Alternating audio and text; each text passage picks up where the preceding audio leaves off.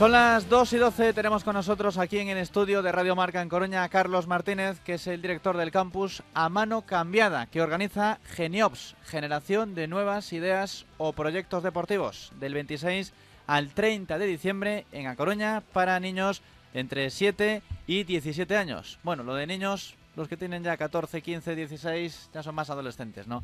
Carlos Martínez, buenas tardes. Buenas tardes, Jesús. Además, tú eres miembro de la Federación Gallega de Fútbol. Sí, bueno, estoy trabajando allí por un motivo de un máster y estamos ahí de prácticas tres meses y nada, trabajando con proyectos y uno de ellos es este, que le damos mucha importancia, ya que va a ser el primero en la ciudad, el primer campus para porteros.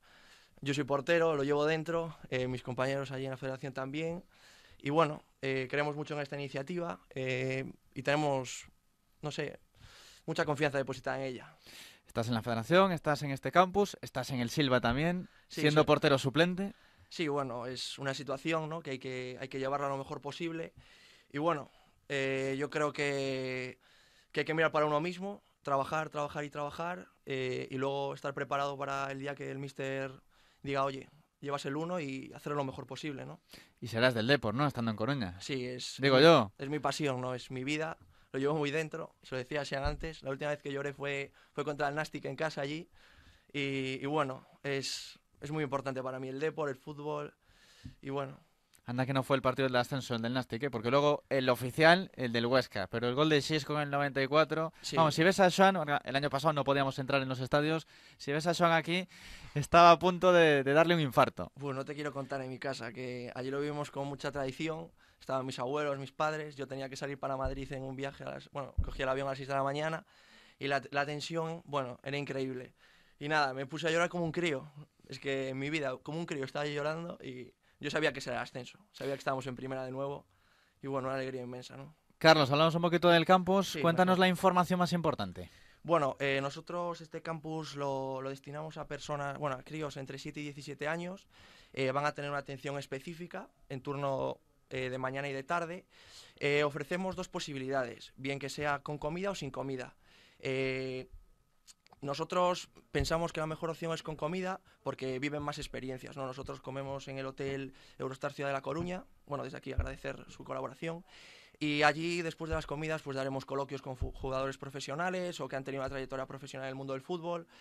Y bueno, nosotros queremos que para que no sé, para que se lleven mejor con sus, compañeros, que haya más unión, que vengan pues todo el día, ¿no? También ofrecemos la opción sin comida para llegar a más gente. Eh, pero bueno, eso a gusto de cada uno y lo que prefieran los papás y los abuelos, ya sabes. Sobre todo lo que llama más la atención, como decías tú, es el primer campus para porteros, aquí en Coruña. Sí, bueno, eh, yo justo he nacido en ese momento en el que el portero era un olvidado y pasaba a ser un poquito recordado ¿no? por el entrenador y teníamos esa, esa persona del club que te ayudaba, que colaboraba contigo, que te pegaba unos, unos disparos. Pero claro, ahora con el paso de los años, grandes profesionales pues se han dedicado al mundo de la portería, ¿no? a entrenar a porteros. Y, y bueno, eh, creemos que, el portero necesita una dedicación específica porque si nos fijamos en un partido de fútbol y cuando sale a calentar ya calienta solo. Él pasa el 60% del partido solo, no tiene apoyo, no tiene nada. Entonces nosotros nos vamos a, dedicar a formar al portero, bueno, pues en todas las facetas generales eh, del deportista y luego pues eh, interiorizar en cada una de las del portero, ¿no? Y es un puesto especial, porque es importante, ya que tú en un partido mm, tienes un remate a portería, la salvas y parece que sí, es lo que tienes que hacer, está muy bien, pero tú fallas, se resbala el portero, imagínate, no mete bien la mano o la pierna, va para adentro, todo el mundo va a decir, pierde el Depor pierde el otro equipo porque el portero tuvo un fallo, ¿no? Y luego la situación especial y que además es tu caso, ¿no? Por ejemplo, en el Silva, que eres suplente, que claro, no es como un jugador de campo. Si tienes un portero que es titular y lo está haciendo bien, es muy difícil que vaya a haber un cambio. Vamos a ver, eh, lo de los fallos, por, en primer lugar. eh, es un puesto, repetimos, muy específico. Mentalmente tienes que estar súper concentrado. eh, pero puedes fallar, somos humanos, todos fallamos. Es muy importante que psicológicamente estés preparado. Eh, tú no puedes pensar en el error, no cabe la posibilidad de error en tu cabeza. Pero si fallas, has fallado, recoges el balón de la red, como millones de veces, por desgracia, lo echas al medio y tienes que ser lo suficientemente fuerte para volver a salir. Eh, concentrado, ya sea después del gol o en el segundo tiempo, lo que sea, no puedes venirte abajo, porque el equipo depende de ti. Si tú vuelves a fallar, ya es otro gol. Entonces no puedes fallar. Eh, en cuanto a la situación de ser suplente, es lo que, lo que te comentaba antes. Eh, yo creo que es trabajo, no puedes eh, pensar en el entrenador no me pone, sobre todo en críos, ¿no? En críos pues piensan, no, es que no me, me tiene manía, y viene el papá, "Joder, es que no lo ponen. No, yo creo que la ¿Y base cómo de- se lo explicas tú, por ejemplo, en este campus a un niño? Pues que él tiene que dedicarse a entrenar. Él tiene que dedicarse a entrenar, a ver sus progresos, a fijarse en porteros que estén por delante de él, tanto en edad como en condiciones, y a partir de ahí intentar proyectarse a su nivel. Eh, no sé, es que es, muy difícil ser portero. Y, y ya te digo, yo creo que hay que trabajar mucho, entrenar muy duro y siempre unir. Unir el vestuario, unir con los compañeros, unir con el entrenador, con la directiva. No, no buscar asperezas, ni. No, hay que unir mucho. ¿Y es difícil que los niños se animen a, a intentar ser porteros? Es decir, ¿es, más fácil que te cuenten, no, yo prefiero delantero o medio o incluso defensa? No lo sé, eh, a ver, aquí en un partido de fútbol marca el delantero y todo el mundo, toda la gloria es para él, las fotos son para él, la rueda de prensa es para él. Eh, pero bueno, ahora hay porteros de referencia en nuestro país, internacionalmente, y no sé, yo creo que hay muchos chavales que quieren decir, que dicen, yo quiero ser como Casillas, yo quiero ser como Víctor, yo quiero ser como Daniel Zubía. Y, bueno, era, antes de pequeño era el gordito que no corría, era el portero, porque no corría, no iba a marcar goles, entonces era el que se ponía. Ese no fue mi caso, a mí me gustaba desde pequeño, a mí mi padre era portero así, aficionado y tal, y también le gustaba, y me dijo, oye, yo creo que tú también puedes valer para esto. A mí me gusta, me gusta entrenar a los chavales, y bueno, yo creo que, que ahora mismo ya no es algo de te pones tú porque eres el gordito, no, no, te pones tú porque te gusta y quieres ser como, como un referente, ¿no? Hay que hablar con el mister del Silva entonces, ¿no? Nada, no hay nada que hablar. Lo tengo que hablar yo en los entrenamientos y, y nada más. Eh, Marcos lo está haciendo muy bien, es un gran portero. Eh, yo he llegado tarde porque he firmado hace apenas dos meses. Y, y nada más, el que siga en su línea, es un gran portero. Y si el míster algún día decide darme la oportunidad, pues lo intentaré aprovechar de la mejor manera posible. Tienes el discurso bien aprendido. No, no, que va, es, en realidad es lo que pienso. Eh, quizás alguna vez sí que he hablado de más cuando era más crío y me he dado cuenta que no vale de nada. Hay que, hay que ser cautos, hay que, no sé, hay que unir. Es una palabra muy importante en nuestro campus. Hay que unir, hay que ser humilde, hay que ser honesto, hay que trabajar. Y tenemos que, tanto yo como persona, como el resto de entrenadores, tenemos que, que predicar con el ejemplo. Y bueno, ya que personalizas en mí lo del Silva, pues yo pienso exactamente lo mismo. Tenéis un límite de 50 plazas para el campus. ¿Qué tienen que hacer los que quieren ahora mismo inscribirse? O, o el papá que está ahora en casa, ah, mi hijo que quiere ser portero, venga, voy. Bueno, pues lo que tienen que hacer, eh, si no le ha llegado díptico por medio de alguna persona, tienen que meterse o bien en la página de la federación, que hay un enlace a nuestra página de la asociación, o si no, meterse en www.geniops.es. eh, acabado en PS, geniops.es. Y ahí ya pues tienen toda la información más ampliada, eh, tienen eh, bueno, pues todos los datos para inscribir a sus hijos, todo el formulario de inscripción y nada más.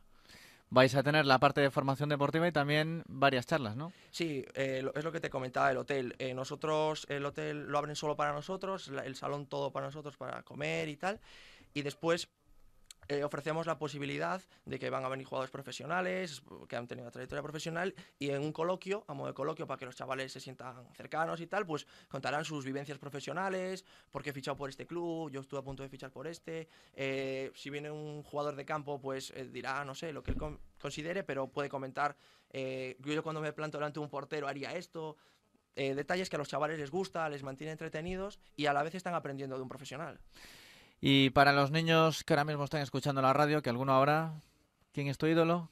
mi ídolo, eh, no sé, hay grandes porteros, eh, quizás eh, hay que fijarse un poquito lo que tenemos aquí, ¿no? Dani es un gran portero, eh, y luego lo, lo gallego, ¿no? Dani Mayo está cuajando una, una temporada fantástica en Girona después de lo mal que lo ha pasado, ¿no? En su trayectoria. Eh, Ian Mackay, que está allí en Baleares. Eh, no solo es eh, Casillas, Valdés, Ian Hart, eh, no, es- yo creo que hay que fijarse un poquito lo que tenemos aquí y lo que está por llegar, porque yo sé que, que en el fútbol base coruñés hay, hay grandes porteros. Me viene bien porque intuía yo, no sé por qué, que ibas a barrer para casa y quería preguntarte por la discusión o debate que pueda haber a través de las redes sociales, también en Coruña, con respecto al caso del portero en el Deportivo. Porque ahora son muchos los que están pidiendo a Germán Lux, va a tener que jugar por la sanción de Aranzovía, pero yo, por lo menos es una opinión personal, creo que se ha sido injusto esta temporada con Dani. Es verdad que no es su mejor temporada, porque lo es, pero ha sido un portero que ha quitado muchas castañas del fuego para este deporte. Hombre, eh, es que Dani no puedo decir nada. Eh, internacional, un, grandísimo portero, es que solo hay que verlo, humilde. Pero, pero bueno, yo de que no es su mejor temporada tampoco, puedo darte la razón, porque esto está empezando, esto es muy largo y va, va a dar mucho que hablar.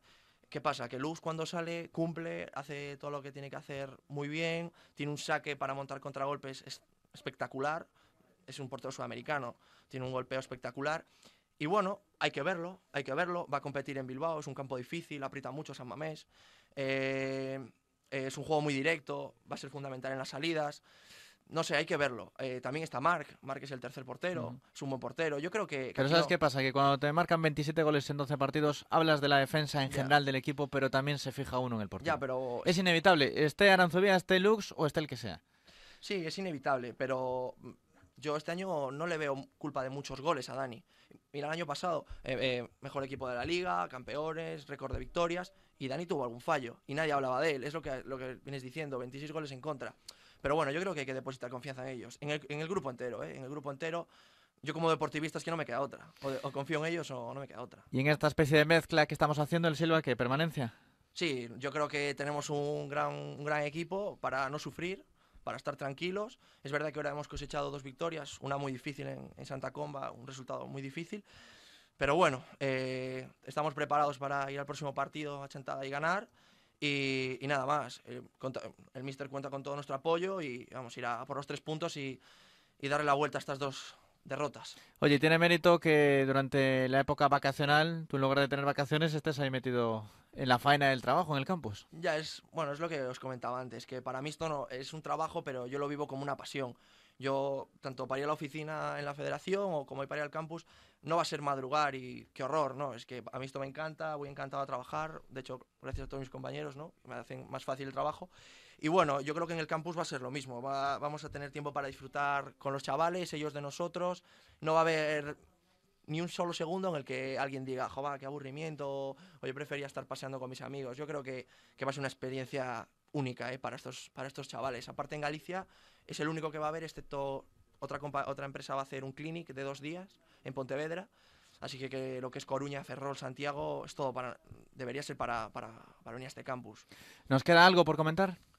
No, nada más, que las inscripciones están abiertas, hay un periodo de preinscripción y otro de inscripción. La preinscripción acaba el 3 de diciembre eh, y la cuota varía. Si te preinscribes tienes una bonificación de 20 euros y si te inscribes tienes que pagar esos 20, esa diferencia de 20 euros. Hay gente que se está inscribiendo, la verdad es que están, está por encima de nuestras, de nuestras expectativas, ¿no? Está una acogida muy, muy grande y nada, que esperamos cubrir esas 50 plazas, que salga pues, lo mejor posible porque, porque confiamos en ellos, ya es lo que te comentaba al principio de la entrevista, es un proyecto en el que hemos depositado muchas esperanzas, tanto nosotros como la federación, y nada, con muchas ganas.